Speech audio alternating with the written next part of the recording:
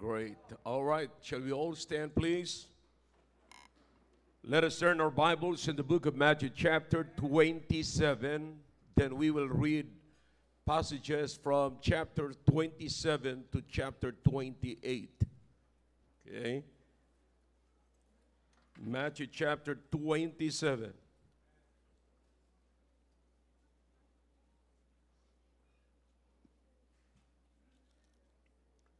Okay, kung kayo po ay nandiyan na sa sinasabi kong talata ay say a loud amen.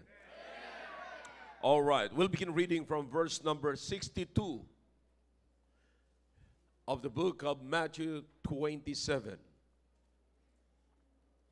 All right, here's what the Bible says. Are you with me now? Now, the next day that followed the day of the preparation, the chief priests and Pharisees came together unto Pilate,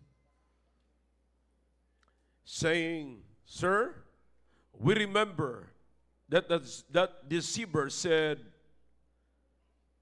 while he was yet alive, after three days, I will rise again. You know, you should put this in your mind that even the enemies knows it. And they're nervous about it. And then verse number 63, uh, 64. Command therefore that the sepulchre be made sure until the third day, lest his disciples come by night and steal him away, and say unto the people, He is risen from the dead. So the last error shall be worse than the first. Pilate said unto them, Ye have a watch, go your way, make it as sure as ye can. The watch is the security or the guard. Okay? That's a Navy term, Navy language. So you can see the Navy here. The watch. Yeah, all right. Go your way, make it as sure as ye, as ye can. 66. So they went and made the sepulchre sure, se- sealing the stone and setting a watch. All right? Hindi lamang po kasi yung yung sepulchre mga kapatid, parang parang kuweba po yun, parang cave na doon ipapasok talaga, no? Tandaan po natin, wala hong kabaong noong araw. Okay? Binabalot lamang po nila yan, then nilalagay po nila yon ng involving kung anong mga dahon, mga ganoon. But by that time, sabi ko nga sa inyo kanina umaga, the spices, yung po yung ginamit po nila. Okay? And then they roll the stone, tinakpan nila, at sa stone, sa, sa, doon mismo sa stone, naglagay sila ng seal ni Pilate. That's the seal of Pilate. Seal po yun ng Roman government, Roman authority. Did you get that? Okay? So kapag ka naglagay, back in those days, even in our days, eh, hindi mo dapat pagka nandiyan yung silyo ng Malacanang, huwag mong laruin yan. Ano mang silyo? Silyo ng Armed Forces, silyo ng Navy, ng Army, ng Air Force, ng PNP, huwag mong paglaruan yan. Kalaban mo ang PNP. Alright? Okay, are you with me? Naunawaan niyo po yun? So, ganun po ang nilagay nila rito. So in other words, everything is ready. Everything is secured dito. All right? Did you get that? Secured na secured, kapatid. Kasi eh, merong gwardya, merong silyo, at merong stone. Okay? Now, in chapter 28, verse number, well, let's keep going. In the end of the Sabbath, as it began to dawn toward the first day of the week, came Mary Magdalene and the other Mary to see the sepulchre. So we have Marys here. And behold, tandaan po, I like this. Okay? Notice what the Bible says here. They came at the dawn, no?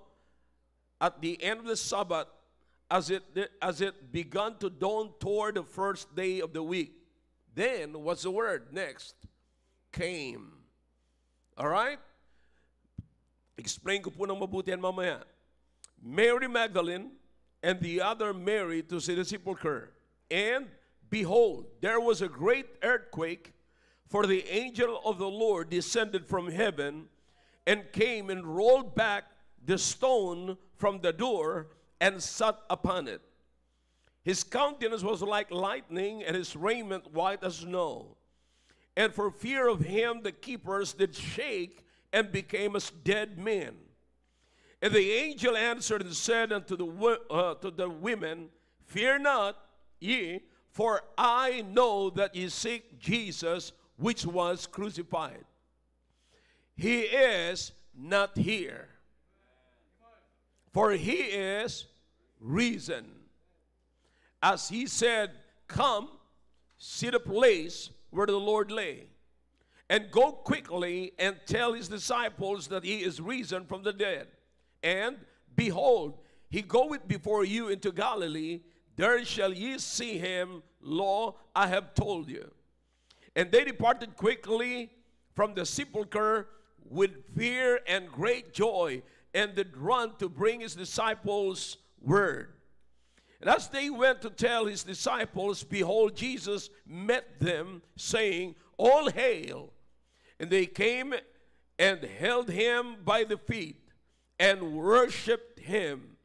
Then said Jesus unto them, Be not afraid, go tell my brethren that they go into Galilee, and there shall they see me. Now, when they were going, behold, some of the Wats came into the city and showed unto the chief priests all the things that were done. And when they were assembled with the elders and had taken counsel, they gave large money unto the, unto the soldiers. In other words, it's a bribe money. Okay? Saying, Say ye, his disciples came by night and stole him away while we slept. Or we slept. And if this come to the governor's ears, we will persuade him and secure you. So they took the money and did as they were taught, and this saying is commonly reported among the Jews until this day. So, meron tayong dalawang reports dito mapatid. Dalawang uh, pangyayari na pinaniniwalaan ngayon ng ibang mga tao na hindi naman talaga nabuhay na maguli at siya talaga ninakaw lang yung kanyang bangkay. See? Ngayon, marami pong naniniwala na ganoon. Kaya sabi ko nga sa inyo kanina, mag-present sila ng mga remains. See? At uh, pag nakapag-present sila ng buto ng Panginoong Kristo or whatever na pwede na i-present, eh, siguro mas makapakita nila na talagang hindi na buhay na maguli ang Panginoon. Pero kung wala ho silang maipipresent, ibig sabihin ng Panginoon ay nabuhay na maguli. And remember the Bible says there are so many instances, there are so many evidences ang Panginoong Kristo talaga ay nabuhay. First, He was sent by, uh, by Peter, and then the five, and the twelve, and then the five hundred at one time. And then the whole disciples and the apostles saw him. You see, that was within 40 days after the resurrection. Okay? 40 days. Kasi ang ang ang 50 days that that's the uh, the Pentecost. You see, so before the Pentecost nakita po siya mga in for just in the span of 40 days nakita siya ni Peter, nakita siya nakita siya ng uh, uh, ng uh, ng 12, ng, no, nakita siya ng 500 at one time and nakita siya ng mga apostles. Paano mo tatanggihan yan? And even the, the, the, the Apostle Paul, he met him on his way to Damascus. Diba? Kaya makita niyo mga, mga taong ito na nakakita sa kanya, they would rather die than deny. Did you get that? Because they saw Jesus personally, they cannot deny it. They would rather die. They will choose to die rather than deny. Kaya hindi nila kayang itinay yung nakita nila mga kapatid.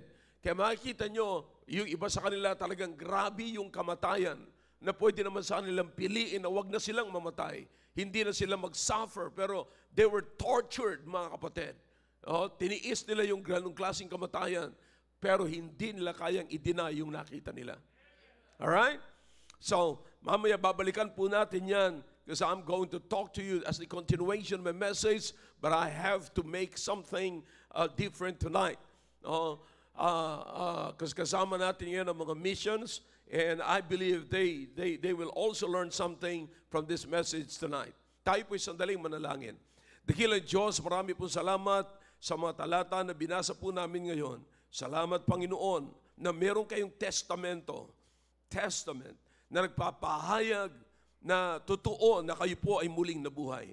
And because you are alive, we are also alive and we must be in the ministry alive. Dapat masigla po kami, dapat na dito lahat ang aming energy na ilalagay po namin sa ministry po, Panginoon. Salamat po at pagpalain niyo po ang mensahe ito, mahamon ang bawat isa, maging ang mga kapatiran namin na nasa mission po ngayon.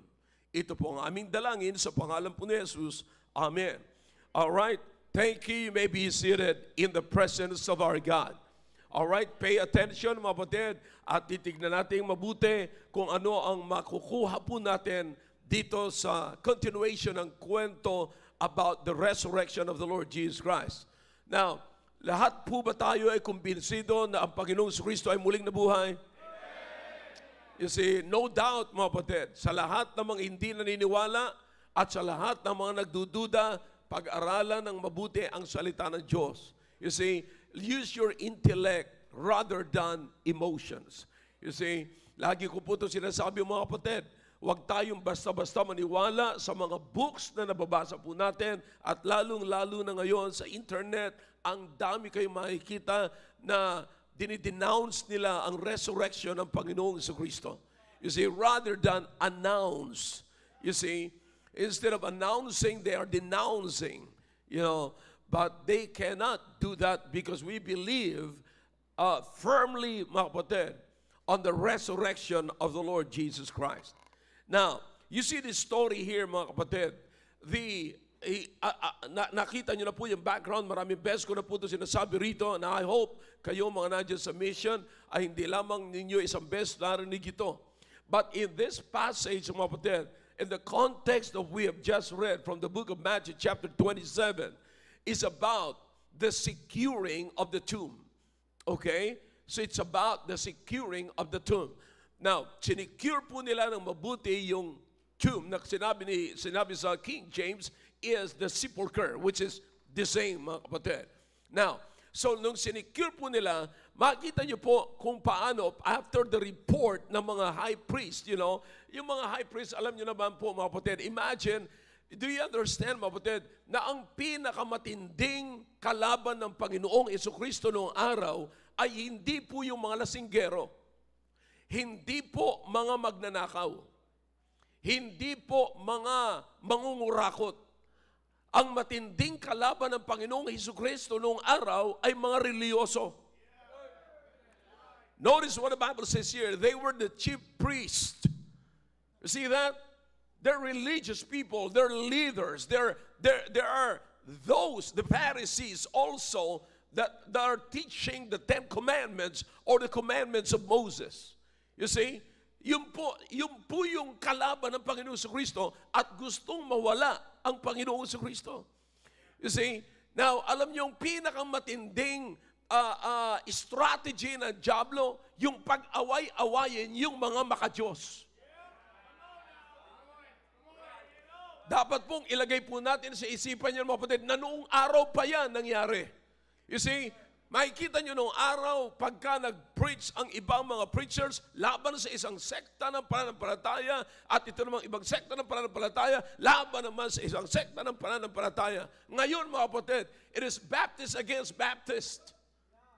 You see, kasi sa mga Baptist, marami mga tubo, may mga may mga 70 Baptist, may mga dispensationalist, may mga uh, uh, what was that? Yung hindi naniniwala soul winning, marami na ganyan. So it's Baptist against Baptist. So you understand that? Now, pinaliliit, nilolocalize pa yan ng Diablo.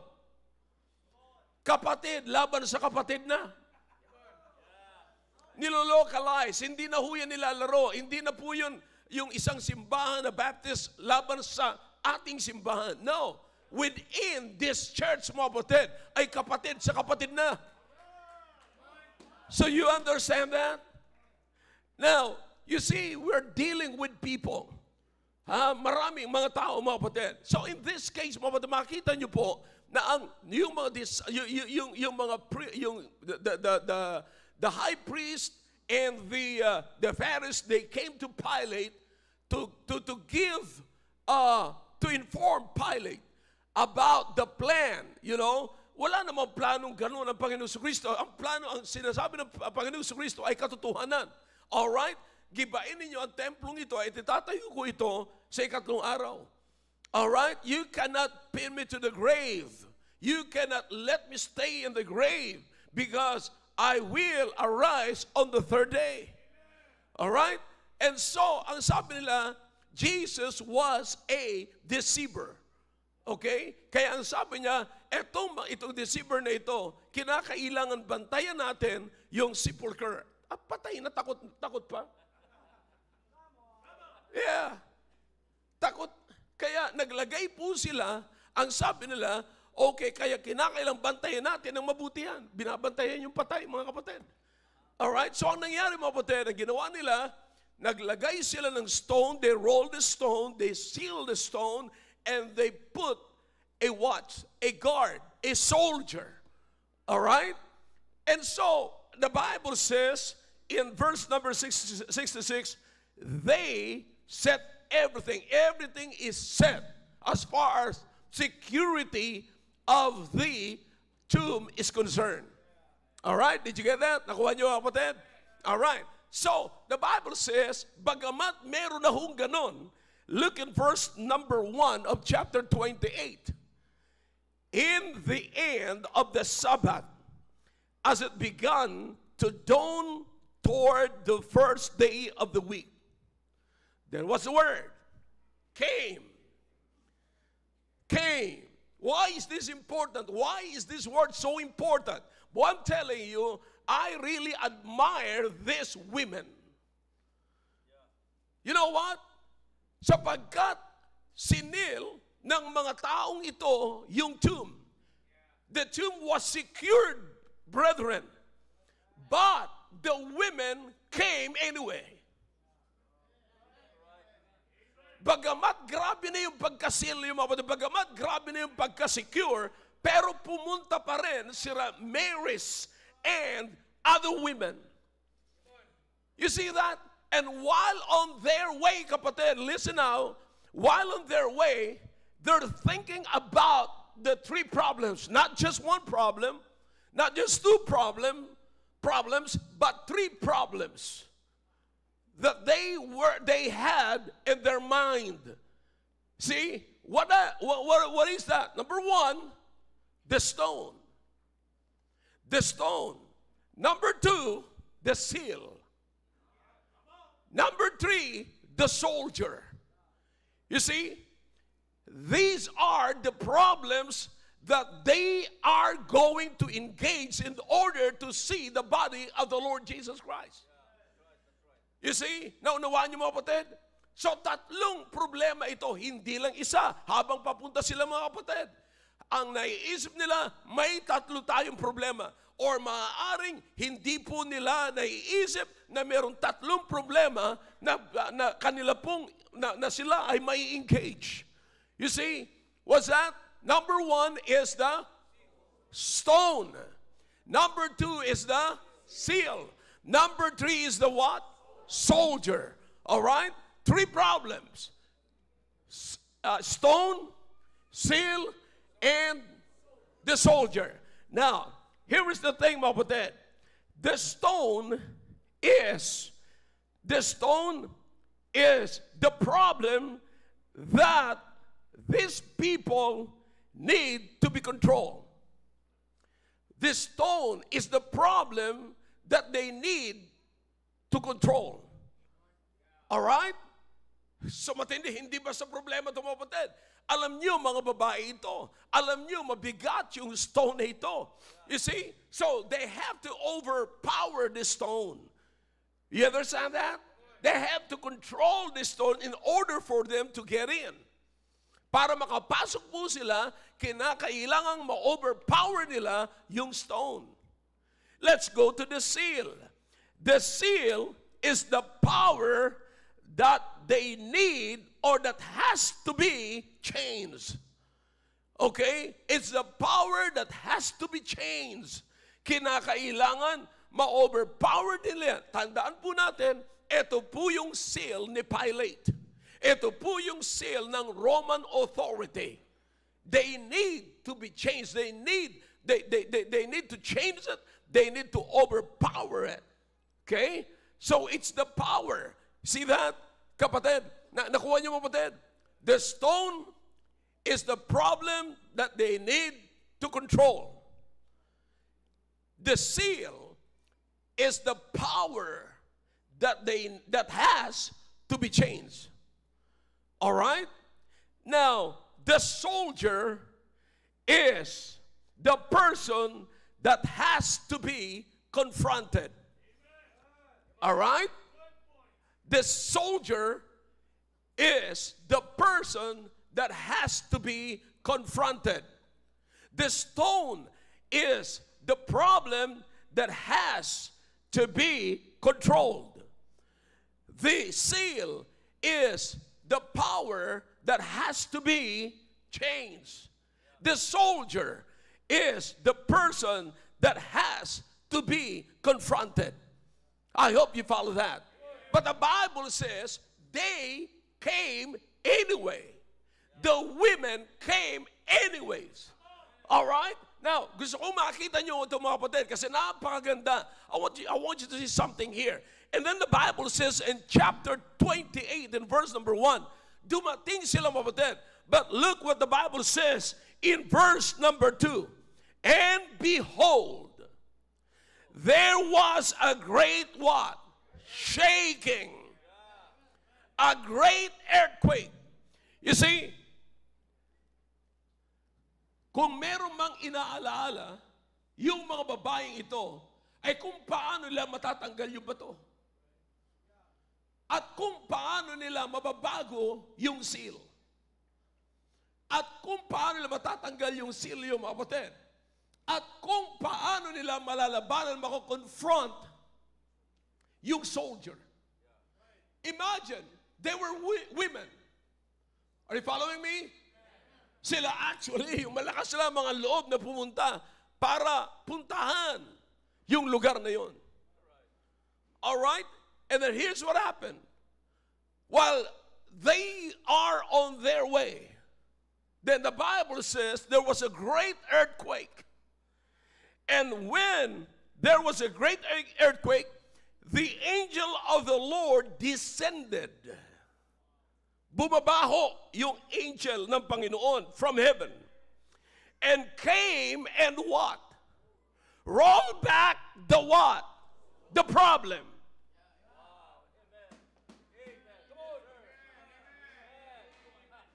Pause, pause. Mag-isip muna tayo mga kapatid kung ano pinag-uusapan natin dito. Kapatid, hindi to fiction. Hindi to fables. Hindi po to kung ano-ano lamang mga sabi-sabi. Ito'y totoong pangyayari. Na yung data, mga kababaihan na gustong makita ang Panginoong Heso Kristo, gustong ma-meet ang Panginoong Heso Kristo, bagamat grabe ho ang hadlang mga kapatid. Walang nakaawat sa kanila. They knew it. Merong stone, merong seal, merong soldier. But the Bible says that before they came, behold, there was, when they were there, there was a great earthquake, for the angel of the Lord descended from heaven and came and rolled back the stone from the door and sat upon it. Hole, hindi pa tapos. All right? Look at verse number three. His countenance was like lightning, and his raiment white as snow. It is important to read that. Bakit? And for fear of him, the keepers did shake and became a dead man. Imagine, kapatid, sabi ng Biblia, nung nandun na sila nakita, nagkaroon ng shaking, nagkaroon ng earthquake, and then the angel rolled back the stone, tinanggal. Yung angel na, listen, hindi sila nagtanggal. Walang aarestuhin ng mga kababaihan na hindi nagrespeto sa silyo ng Roman authority. Bakit? Hindi po sila ang nagtanggal. Now, do you understand na ang Diyos ang nagtanggal sa pamagitan ng kanyang angel? Sometimes God is going to break the human rules, the human law for the blessing of His own people. Yeah, He's going to break the human law para lamang pagpalain niya ang kanyang mga anak. Now, you see what happened here? Pagkatapos po niya ni roll yung stone, and look at this, isa sa kinatatakutan nila ay yung sundalo. Kasi ang sundalo, back in those days, kapatid, grabe yung patakaran. Pag may nakalabas dyan na buhay ka pa, look, patay ka rin.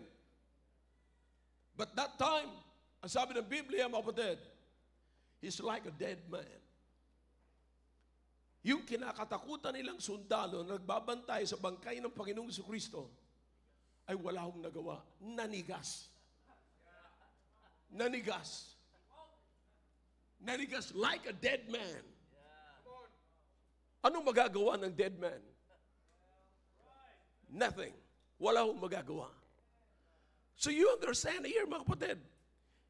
And the Bible says, the angel answered and said unto the women, Fear not ye, for I know that ye seek Jesus, which was crucified. He is not here, for he is risen, as he said. Come, see the place where the Lord lay. Now listen to me now. This is very important. Now think about this. I like, sabi ko sa inyo kanina, ina-admire ko yung mga kababaihan na ito. Yung kanilang pananampalataya na bagamat kapatid, alam nila na merong kalaban, alam nila na merong resistance, pero mga kapatid, nagpatuloy pa sila at tinignan nila kinakailangan namin makita ang Panginoong Kristo. Kinakailangan namin makita yung body ng Panginoong Kristo. Kinakailangan namin makapa, kinakailangan makapasok kami. Listen, they were women, mga kapatid. Think about that. The thing that you can find sa mga kababaihan ito is that they are willing to engage in a very different or even the hard way just for the ministry. May mga ba, may, they have to put spies on the body of the Lord Jesus Christ. They have a ministry to do. Walang makakawat. Gagawin namin ito kahit may hadlang. Kinakailangan kami pumasok kapatid. Pero nakita ng Panginoon yung kanilang puso patungkol sa ministry. Kapatid, lahat ng hadlang sa ministry, lahat ng possible na pwedeng katakutan nila, hindi po sila nag-disengage, but they engage themselves into that dangerous mission.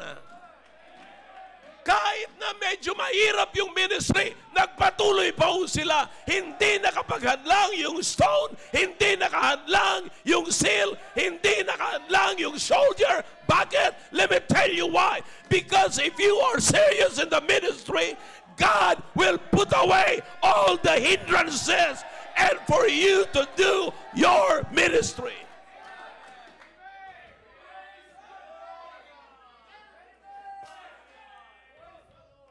Maliwanag po yun mga kapatid.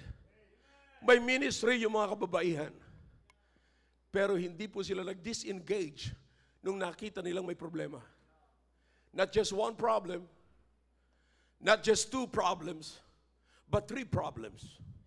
But they did not disengage themselves from that problems. So do you understand? Kapag ka tayo nasa ministry at kapag tayo seryoso sa ministry, we will just let God be God. This is not our ministry. This is God's ministry. You see? You understand? And I understand, and you must fully aware that ministry is people. You will be dealing with different kinds of people. Kapatid, if you are in the ministry, difficult times. Are you with me? Difficult times will come. Surely will come. Because you will be dealing with different kinds of people. Sino-sino to mga taong ito? Envious people. Sino-sino to mga taong ito, kapatid? Jealous people. Sino-sino to mga taong ito? Bitter people. Sino-sino to mga taong ito? Negative people. You see? Now listen, eto yung mai-engage mo sa ministry. Ito yung madidil mo sa ministry. So, when the women knew that they will be dealing with these people or dealing with the three problems, all right, they did not disengage themselves. They just keep going. And when they kept going, look, look at the result. It wasn't them.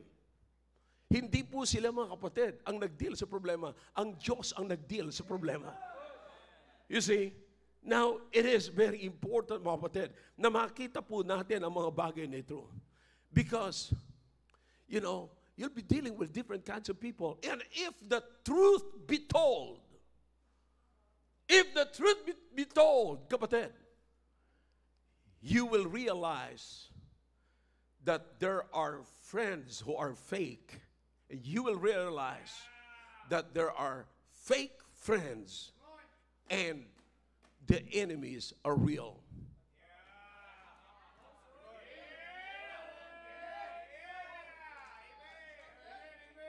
Kayong mga nakakasalamuhan na ng matagal sa mga tao, alam niyo yan. Mabuti pa yung mabuti pa yung kaaway ay totoo. Pag nagkaroon ka ng walang fake na kaaway.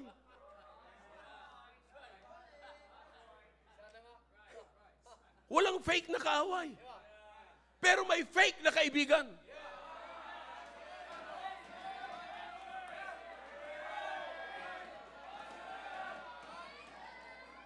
Habang tumatagal ka sa ministry, madidiscover mo na maraming fake na kaibigan pero walang fake na kaaway sapagkat maraming kaaway. Totoo ang kaaway mo. Come on, talk to me if you can. So what are you going to do now? Let me just give you three things here, mga kapatid, and I'm done, and let's eat.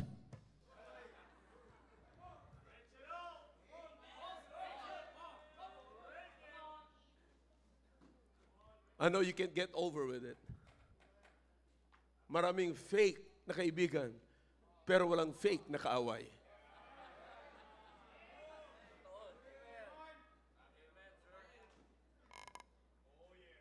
Yeah, let's, ra- let's rock and roll.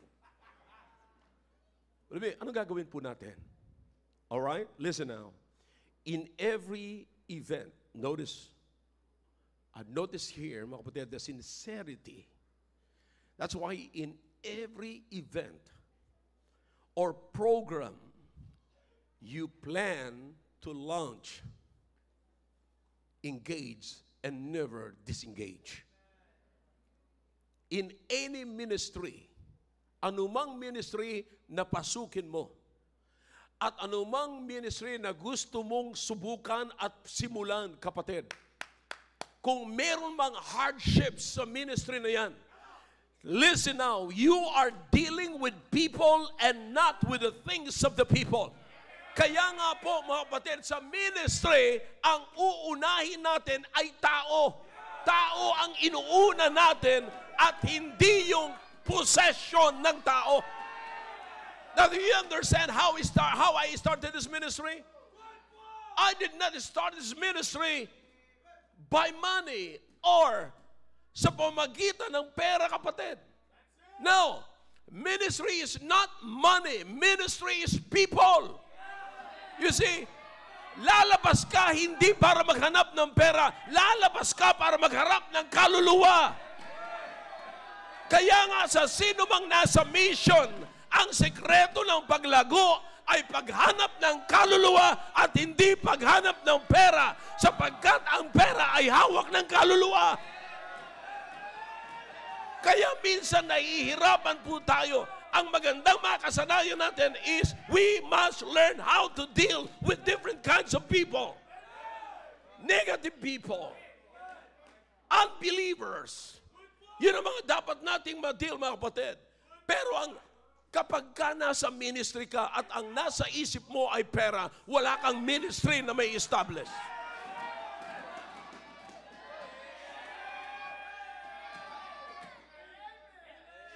Mas mahirap mag-establish ng bangko kaysa sa church. Yeah. Tandaan mo, ministry is people, not money. Alright? Now, every time na nagkikipag-engage tayo, every time na mag-start tayo ng ministry, mga kapatid, listen now. Even if it is hard, do not and never disengage. Why? Because that's not your ministry, it is God's ministry. Look at this. Alam nila kapatid, na, mag, na, may, na may merong, merong stone, merong seal, merong soldier. Pero ano nangyari? Pumunta pa rin sila. Bakit? May dala-dala silang spices. To what? It's an embalming, eh, they're engaged in embalming ministry. They have to put the spice, yung pabango doon sa bangkay ng Panginoong sa Kristo at inisip nila, walang makakahadlang. Bagamat kababaihan kami, all right, we do not know what's gonna happen there pag nandiyan na kami. But you know, God is in control. There was shaking. Kapatid, maaaring on the way sila, maaari, you know, they're human. Maaaring sila yung nagsishake. Pero nung dumating sila, yung gwardiya na ang nag-shake. And look what happened. The earthquake is not designed to roll the stone, but it is the sign that God is going to do something.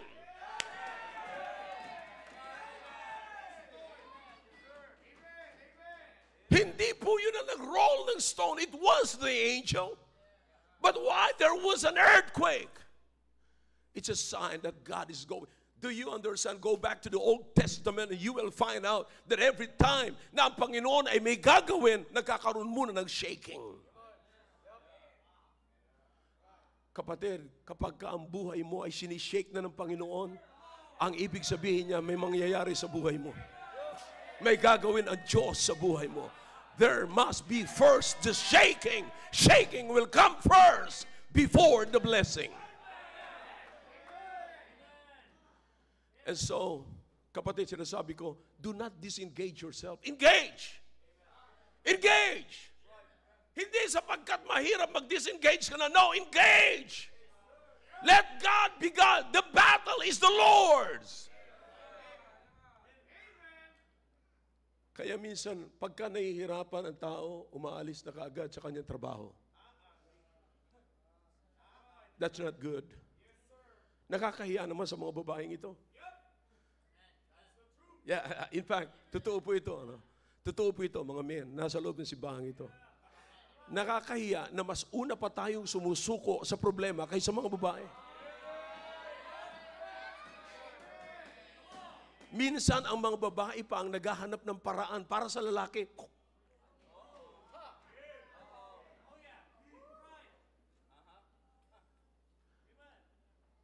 Oh. Gawa, ang, ang lalaki ang gagawa ng problema, ang babae ang naghahanap ng solusyon. Oh.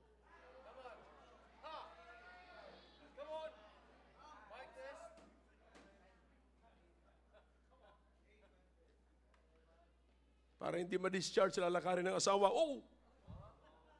Para ma-promote, lalakarin ng asawa. Oh!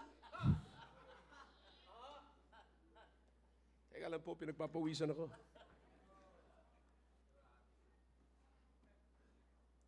But listen, nakakahiya naman na kung tayo, pag nahihirapan tayo, aatras tayo. I-disengage natin at sasabihin natin hindi kalooban ng Panginoon. Here's another one. you've got to engage when there is hardship. Because engaged people are passionate people. People who love. People na nagmamahal sa kanyang ministry. They have passion, mga kapatid. They knew what the mission is. They served in it and they live it out. Yan ho ang taong engaged. Determinado. Yan ang isang Kristiyano na nasa ministry, na engaged sa ministry, and they will, he, he, he's not gonna disengage himself from the, from the ministry, but lalo pa siyang mag involve sa kanyang ministry because an engaged person is a passionate person. I hope you get that. Now, number two, if you have problem uh, with a pro- problem like that at hindi ka po hindi ka magdi-disengage, you will just engage. Then you focus on your ministry. Focus your ministry or focus your program around your ministry. Now, I think this will help you. Kayong mga nandiyan sa, sa, sa mission, this will help you. Okay? Pag gumawa kayo ng programa, siguraduhin ninyo na ang inyong programa ay nakafocus doon sa inyong mission. Ano ang inyong mission? Ano ang inyong ministry? If you are here in this church right now, you have ministry. Ano ang iyong ministry? All right? May programa. Ano ang ang programa ay dapat nakafocus doon sa iyong ministry. Hindi ka magkakaroon ng programa na hiwalay sa iyong ministry. Hindi ka magkakaroon ng programa na hiwalay sa iyong mission. Kaya wala akong nangyayari sa mission kasi may programa tayo na hindi naman kailangan sa mission. May programa tayo na hindi naman natin kailangan at hindi connected sa ministry. You see, na they understand na minsan nakikialam tayo sa ibang programa na hindi naman, you see, that, that's the reason kung bakit may programa tayo dito sa church na ito. Why? Because every program that we create in this church is always connected to our ministry. It will help your ministry. There is nothing in it that is not connected to your ministry. All right? Be sure, kapatid, na yung iyong programa ay laging connected sa iyong ministry. Be sure na inyong program sa mission ay laging connected sa mission. It is so important. You see, this one here, ang dala-dala nila, mapatid, ay spices. Connection. Anong mission nila? To embalm the body of the Lord Jesus Christ. You see, wag na natin pag-usapan na siya na buhay na maguli. Wag na natin usapan na, katulad sinabi ko kanina sa iyo, sa, kanina, sa inyo kaninang umaga, na pumunta sila doon hindi para masaksihan yung pag, pag, pag-resurrect ng Panginoong Kristo, muling pagkabuhay ng Panginoong Kristo. Wag natin pag-usapan yan. Pag-usapan natin yung sadya nila, yung mission nila. Ano po yung mission nila? Ang mission nila is to embalm, pabanguhan yung katawan ng Panginoong Kristo. You see, remember, It's on the third day. Anong nasa isip ng tao? Baka makarating pa sa fourth day. Kasi pagka nakarating na sa fourth day, ang isang bangkay, kapatid, unti-unti na yan na magdidecay. Are you learning? You see, so pag bago man yan mag-decay, bago man yan magbabulok na unti-unti, papabanguhan na yan. See that? That's the mission. All right? Anong dala-dala nila mga kapatid? spices. You see, the embalming material back in those days. Now, do you understand na meron po tayo mga hawak-hawak, meron po tayo mga pinagkakaabalahan na wala namang connection sa ating ministry, sa ating mission. Sabi ko nga sa mga missionaries natin, ilang oras ang ini-spend ninyo sa napakahalagang bahagi ng inyong ministry. Come on, talk to me if you can. So what's in our ministry here? Listen, kung ikaw ay nasa music ministry, ano ang daladala mo? Siyempre, it should be Instruments, musical instruments. Anong pinagkakabalahan mo? Musical instruments. Anong pinagkakala? It's all about music because I am in the music ministry. You see, kapatid, I am your pastor. I am a preacher. Then I will not spend my time watching Sicario and the SEAL team film. I like it. I love it, mga kapatid. Pero hindi ako mag-aaksaya ng panahon. Bagamat gusto ko lagi nakakakita ng mga tumatumbling, nasasaktan, bumabangon pa rin. You know, I like that. Hindi, pagbabangon, wala ng kamay, pero bumapuputok pa rin. You know, gusto ko yon. Hindi ko lang kung paano makakaputok, wala ng kamay. But anyways, tinuturuan kami na pagka wala ng, hindi na kaya ng gatilyo, ilagay sa ngipin, talian yung ano, yung mga ganun ba, you know, but it's all in the film, mga kapatid. But what I'm trying to tell you, basta, sinasabi ko lamang, gusto kong panuurin yon. Pero darating sa aking kaisipan, ilang oras ang i-spend ko doon? Hindi po ba mas magandang magbasa na lang ako at mag-aral na lang ako? Baka mai-preach ko pa sa inyo rito yung war.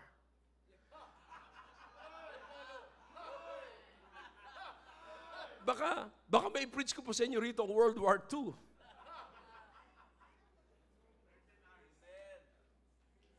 You only have 13 hours to survive.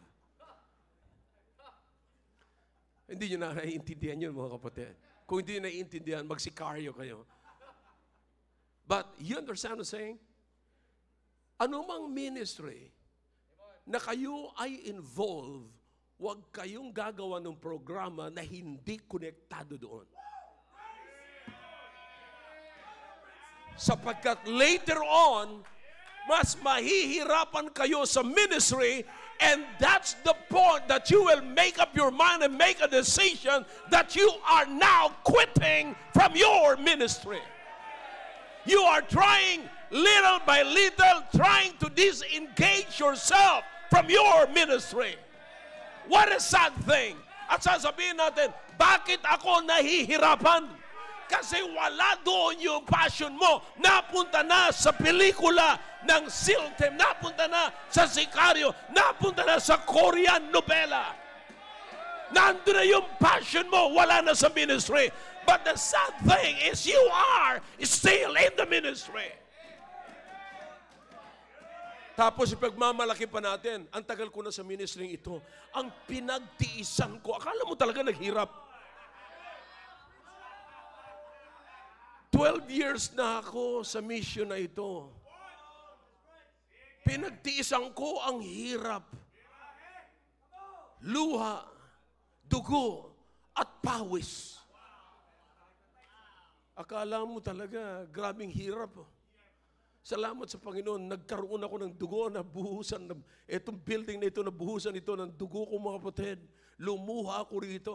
Pero kapatid, lahat siya na in-enjoy ko. They are they're willing to die. They took the risk. Even the apostle Paul and the rest of the apostles, like what I've told you, they would rather what? Die than deny. And so, you've got to focus on your program around your ministry or mission. And this brings me to the last point. In this church, and may I call the attention of the pastors and preachers in our missions, and all the preachers who are involved in ministry here. Because in this church, I preach to call the people to action. I preach to call you to action. Because I want action rather than giving, just giving you knowledge. Alam niyo po ba yon? pag every time natatayo ako rito, hindi po ako basta lamang magbibigay sa inyo ng knowledge. Ayoko, ayoko mga kapatid, bigyan kayo ng information. I, I, I, I, I don't like it. You have an information without action. Every time I give you an information, there must be an action. There must be an action for every information. Kaya minsan nagiging mabagal ang paglago ng mga gawain kasi maraming beses na tayo lamang ay tumatanggap ng information, knowledge, at marami ng knowledge tayo, mabibless tayo, pupunta tayo rito, mananalangin tayo, and then uuwi tayo sa bahay, tapos lang lahat. Wala nang action. Here's the thing. You ready for this? Let me just wake you up. Kayong mga nasa ministry, kayong mga nasa mission. You should love the mission and not the method. Don't just love the method, but love the mission. Alam nyo, here's what I'm saying. Many Christians are passionate. Are you are you still re- listening? Many Christians are passionate about their ministry, but not the ministry. One more time. Many, many who are engaged in the ministry. You love your ministry, but not the ministry. In other words, kapatid, tinan nyo, ano mang, ano mang, ano mang, all right, I hope you're aware of this. I, I, I believe, ano mang nangyayari sa main church ay nangyayari din sa mission at possible na mangyari kung hindi pa naman nangyayari. So, babala ito sa inyo, kayong mga nasa mission. Okay? Maraming mga nasa ministry, mahal nila ang ministry, pero hindi nila alam ang purpose, ay hindi nila mahal ang purpose ng ministry. Listen now, bakit meron tayong choir? Not just for singing before the preaching. Bakit tayo merong mga ah, mga mga ing-ing? Bakit meron tayo mga musicians? Not because, not just to accompany the music. You see, yan ho ang ginagawa ng musicians to accompany the music. All right? So, pwede ho tayo magkaroon ng choir na walang piano. Pwede ho tayo magkaroon, magkanta dito na walang eng-eng. Pwede ho ako mag-preach na walang choir. Because the main thing about the service is worship. Iniahanda lamang ko lahat ng mga meron tayo rito ang ating magandang pag-worship sa Diyos, honor sa Diyos, at pag-glorify sa Diyos. You know ang ginagawa po natin. But what is sad today is, wala na tayong, wala na, wala na yung amor natin sa pakikinig ng salita ng Diyos at pagbigay ng honor at nakatutok na tayo sa ministry natin without connecting our ministry to the main thing. Did you get that? Did you get that? I hope this is clear. You love the method, but not the mission. Many are passionate about their ministries, but not the ministry. What is the main ministry here? What is our ministry? What is the ministry? Winning people.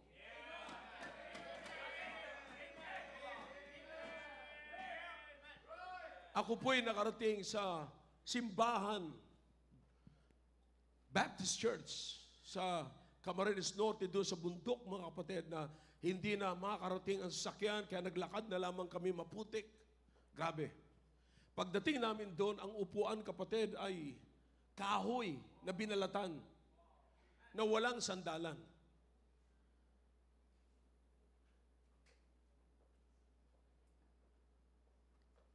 Mapalad ka kung matatapat ka na maupo sa walang buko. You understand what buko? Yung, yung inaanuhan ng sanga yun eh. See, pag tinanggal mo yung saya, sanga, nagiging buko na yun. Alright, ay kung maupo ka doon. Tapos na sentro pa. So you understand what I'm saying?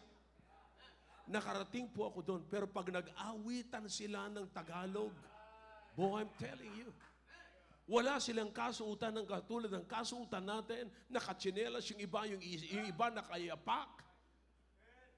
Yung isa, yung iba mga kapatid na mga lalaki, you understand, wala silang, you know, they, may, may, may parang pag pumunta sila, parang ang nipis-nipis ng pantalon at ng shorts nila na wala pang underwear, tapos uupo sa may buko. Hope you understand what I'm talking about. But brethren, seryoso sila. Hindi ganyan ang wall nila, walang salamin. So you understand that? It is the ministry. It's the ministry. But listen, gaano kalungkot mga kapatid. Kung ang attention na lamang natin ay nasa spices at wala na sa Panginoong sa Kristo.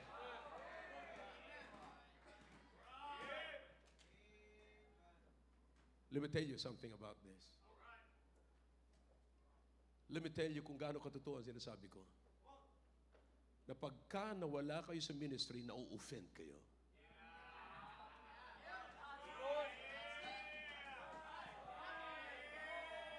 My question is this. Bakit hindi kayo na-offend pag hindi kayo nagsusol winning? Bakit hindi kayo na-offend pag may nakita kayong unbeliever na daanan nyo lang, hindi nyo na-win? That is the ministry. Because you are concerned about your ministries, but not the ministry.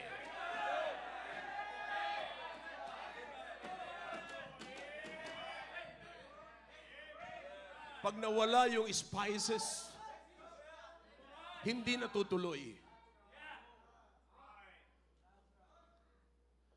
But you listen to me now. It's so important to hear this message.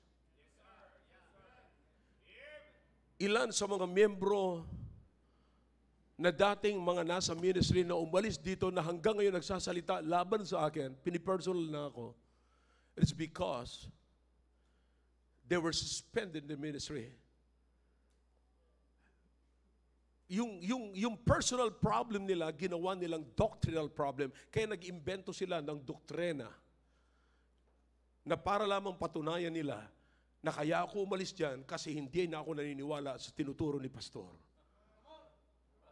Pero ang totoo nun mga kapatid, nagsimula sa pagkawala nila sa ministry because they are not performing in the ministry spiritually.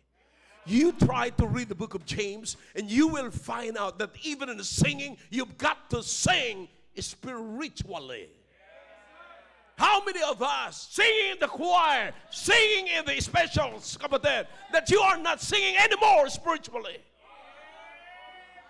You already mastered it.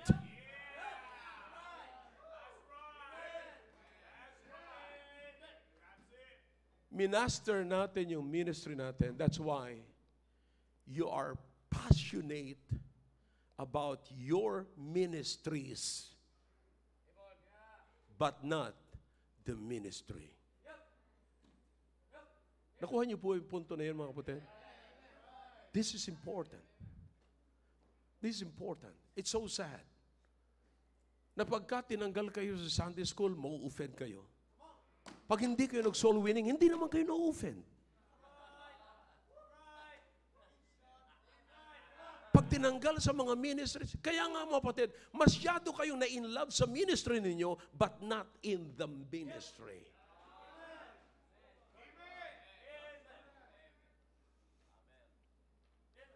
We've got to see Jesus. We've got to see Jesus. Now, maybe you are in this state of shaking right now. Maaring sinishake ka ngayon ng Panginoon. Maaring niyayanig ka ngayon ng Panginoon. Maaring masakit sa iyo kung anong nangyayari sa iyo. Maaring anuman ang nararamdaman mo ngayon. Just keep going. Keep going. Why? Because it's a sign that God is going to do greater things in your life. That's not the end of your ministry. That's not the end of your Christian life. That is not the end of your joy in your ministry. God wants you to enjoy it more abundantly.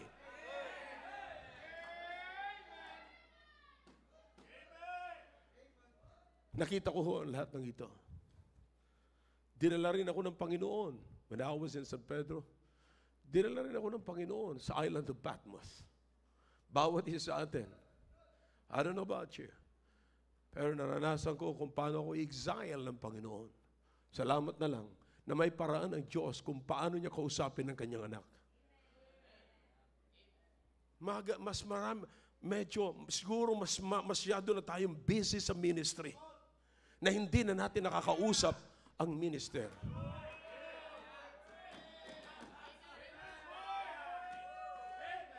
Busy teaching in Sunday school without talking to God anymore. Too busy in, in, in, in, in, in your music ministry without reading your Bible. You can read the notes, you can read the music, but you cannot read your Bible. You have no time to read your Bible. You have no time for the ministry. That's why yung method nagugustuhan natin, pero yung mission ayaw natin. Parang pupunta mga kapatid sa evangelistic, ang sarap kayang sumakay. Ang sarap kaya pagkapapunta pa lamang. Pero pag nagsusoul winning na at hahanapan ka na ng bisita, yun ang nasa isip mo kaya ayaw mo sumama.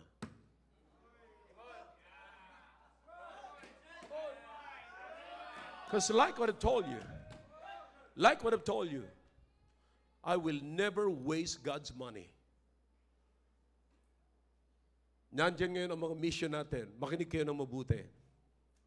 Gusto ko marinig niyo ito. Naalala ko yung sinabi ni Brother Francis. Brother Francis, nandiyan ka, di ba? Nandiyan si Brother Francis? Alright. Sabi ni Brother Francis, napakaganda ng sistema natin. Si Brother Francis, nanggaling po yan sa isang malaking simbahan sa Amerika and I know him at doon ko siya na-meet. Doon kami nag-meet ni Brother Francis.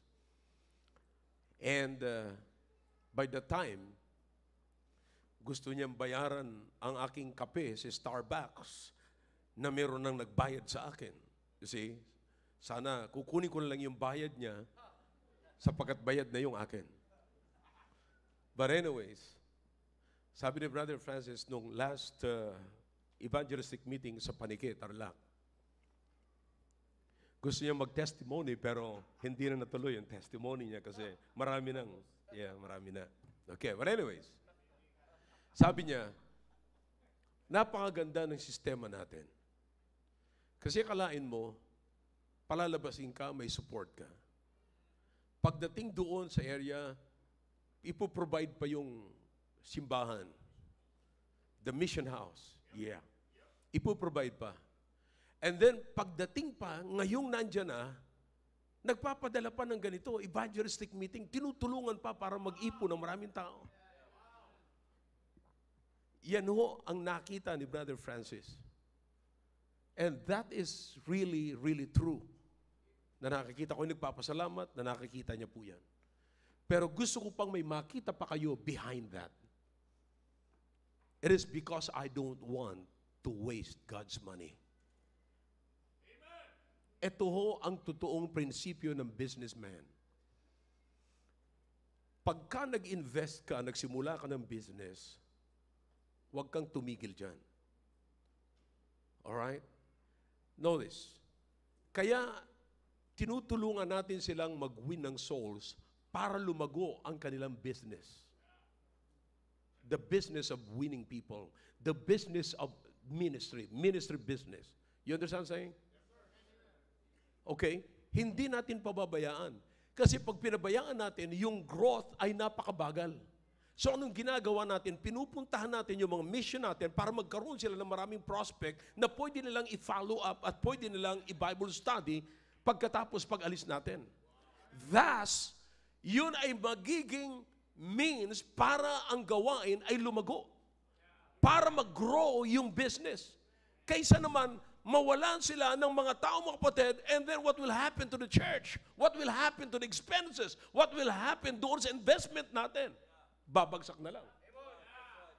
Mawawala na lang. Ayoko hong mangyari yon. So ano pong ginagawa natin? Tinutulungan natin palaguin pa rin yung kanilang gawain.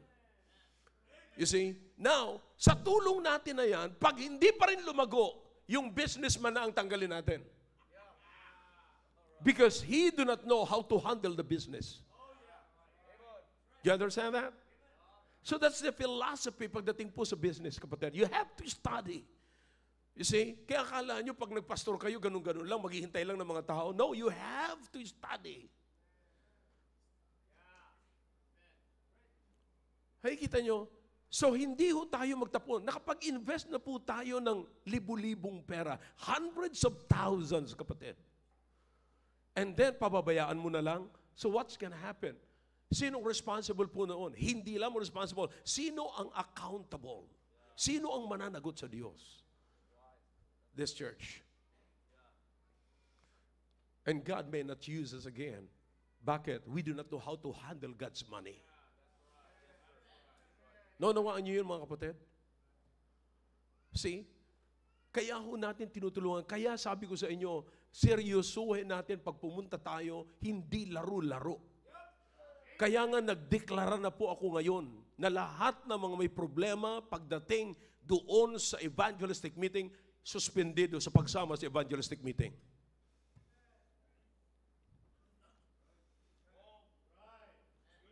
They cannot, they cannot join in the evangelistic meeting because I'm serious with this. Seryoso ako sa ginagawa natin, sino seryoso ako sa proyekto natin, seryoso ako sa pag-handle ng pera natin, seryoso ako sa pag-handle ng, ng ministry natin. Church, bawat sintabo, bawat peso na nilalagay nyo sa offering envelope, pinagpipray ko yan. Tandaan nyo mga kapatid, walang offering dito na hindi po ako nagbibigay. Hindi ko po ito sinasabi sa nagmamalaki po ako sa inyo. Because sinasabi ko lamang po ito sa inyo sapagkat naniniwala ako sa ministry natin. There was a time last uh, last uh, Thursday morning, kasama ko ho yung dalawa, si Daniel at saka si Isaac sa bahay. So, as they always do, pag nandiyan sila sa bahay nila, hindi ko binago ho yung kanilang ginagawa. Sabi ko, okay, pag nagising kayo, magbabasa kayo ng Bible. So nagising sila, nagbasa sila ng Bible. Itong Bible na ito, iniiwan ko dito sa church. May Bible ako dito sa church. May Bible ako sa sakyan na lagi kong binibitbit. May Bible akong permanente doon sa study table ko. So yun ang pinagamit ko sa kanila. It's my old Bible, mga kapatid. Tapos, so ginamit nila, sabi ko, you read the book of Proverbs, chapter 28. Chapter 28. That was Thursday. And so, nagbasa sila at uh, maya-maya, nagagalit si, uh, si Daniel. Sabi niya, bakit mo binabagsak? Kasi nagpapasahan lamang po sila eh. Hindi ko sila binigyan ng tag-isa. Bagamat meron pa ko mas malaki mga kapatid. That's family Bible. Kala ko nakakatawa yun. But anyways, hindi wala kayong idea sa family Bible. It's huge. But anyways, so, sabi ko, okay, basa kayo. So, ang ginagawa nila, nagpapasahan lang sila. Ang ginagawa ni Isaac, pagkuhan sa kanya, ilipat niya. Ganun. Sabi niya, ba't mo binabagsak? Bible yan. See how spiritual he is? Alright? Pero mga kapatid, nung binagsak niya, naglaglagan yung mga laman ng Bible ko. May mga nakaipit-ipit doon kung anong mga nakaipit, you know. And uh, some of you, hindi ko alam, nag-iipit kayo ng mga messages doon. But anyways, uh, Anyways, so, mamaya-maya, tapos na sila. Sabi nila, Lolo, tapos na po kami. Okay, sabi ko, mag-pray na kayo. Pray na. Sino nag-pray? Si Daniel. Okay. So, nag-pray. Pagkatapos siya mag-pray, okay, kasi habang nagluluto ako, mga kapatid, mabuti hindi ako nagluluto. Nagluto ako sapagkat nandun sila. Hindi ho yan nangyari nung si Maki pa ay magkasama kami. Mas grabe ho ang nangyari. Okay? Alright. And so, what happened is, tapos na ako magluto. Sabi ko, okay, tapos na kayo, tapos na mag-pray, ligpit na. So, habang nililigpit yung Bible at maglalatag na ako ng, ng plato, mga kapatid, nakita ko yung mga nahulog. May mga messages ako na nakasulat sa papel and then isa ho sa mga nahulog ay envelope. Envelope. Yeah, sabi ko, oh, envelope. Kala ko, may sinisingit lang ako rito kasi saan man ako pumupunta na merong service, nag-offering din po ako. Pero pagtingin ko, ba, parang may laman. At nung nakita ko, binasa ko, it's a Christmas gift from mothers. Sa inyo, mga mothers.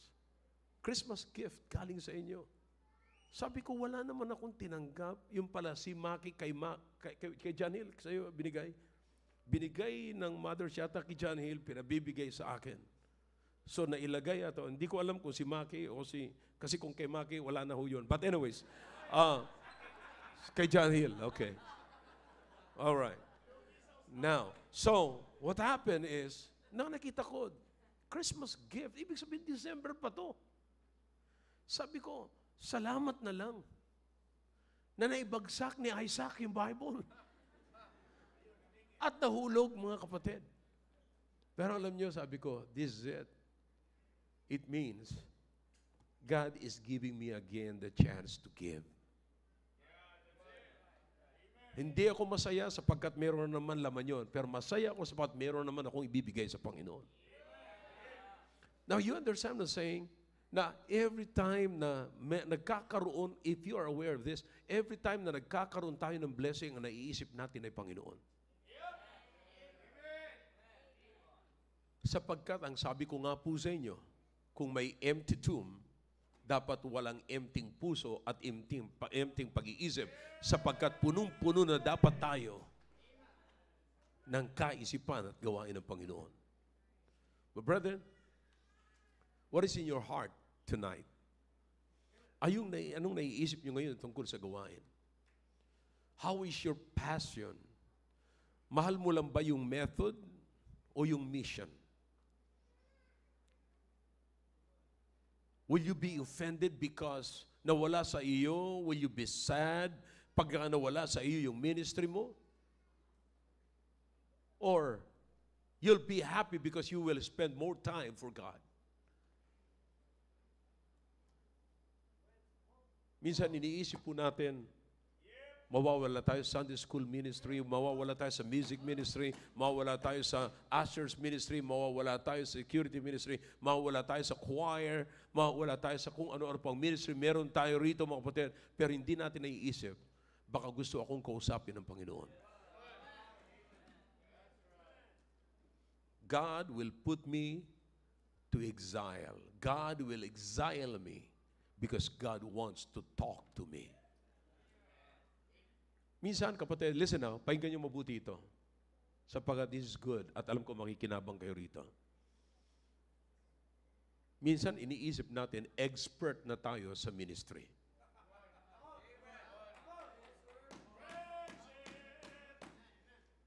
Pero hindi natin naiisip, wala na pala tayong magandang relasyon sa Panginoon at wala na tayong magandang relasyon sa ating ministry. We are expert on this ministry, on your ministry, but you are not expert on the ministry.